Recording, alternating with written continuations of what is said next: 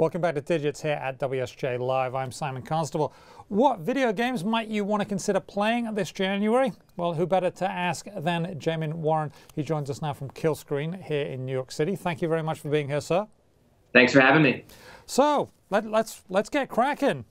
Um, you you got three games we might want to consider uh, blowing our time on.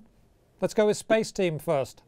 Sure. Spaceteam was developed uh, by a former developer at BioWare Games, which is known for their big RPG epics such as Mass Effect.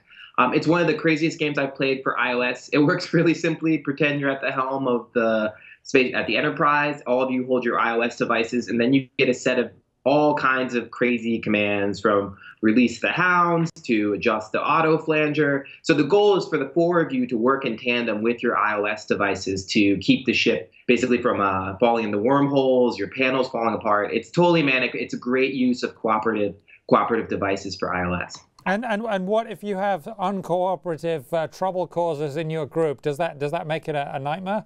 Someone needs to take charge and actually you get awards at the end of each round so for most cooperative most combative uh, it's usually we found it was really helpful to go in turn perhaps as if a real spaceship would work so you kind of have one captain and then everyone else is just yelling orders at each other Oh, I, I do do love that. That sounds like a, lot of fun. Does anyone say, beam me up, Scotty, there's no intelligent life here?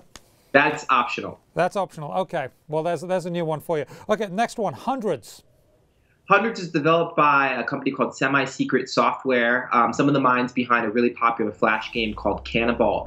Uh, again, Hundreds is one of these games that is really designed to be played for touch surfaces, and you see more indie developers doing this, building games that could really only be played on a single platform. The gameplay is super simple. Um, you have small circles that you sort of control with your fingers, and the goal is you want to make them expand or contract so that they uh, have a value of about 100. Um, as gameplay increases, you end up with a bunch of different challenges. The the bubbles do different sorts of things, but again, it's one of these kind of pop in play puzzle type games that you see are becoming very popular on iOS devices. What what about addiction to it? It it sounds like you could get kind of um, like that could really suck away a lot of time. Is have you been addicted to it?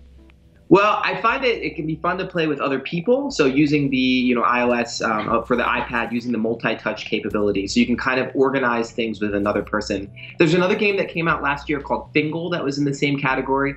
Um, you're seeing game developers sort of experimenting with the tactile capabilities of touch devices. Okay, and it, we're looking at pictures of it now, and it does look uh, very, very beautiful, um, beautiful graphics there.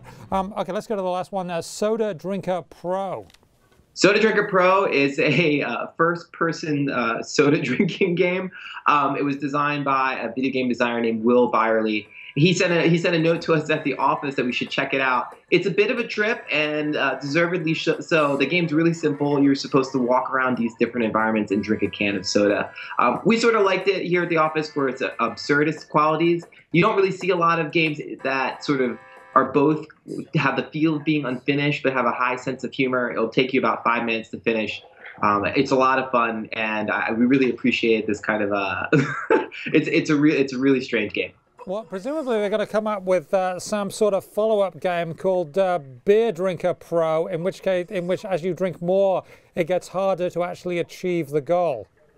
There's actually a, a, game, a popular arcade game called Tapper, that was sponsored by Budweiser uh, in the early 80s, where you played as a bartender and you served angry patrons drinks. So perhaps that isn't too far off after all. Okay, well, it sounds, uh, sounds like a lot of fun. Um, always a pleasure. Thank you very much, Jamin Warren of Kill Screen.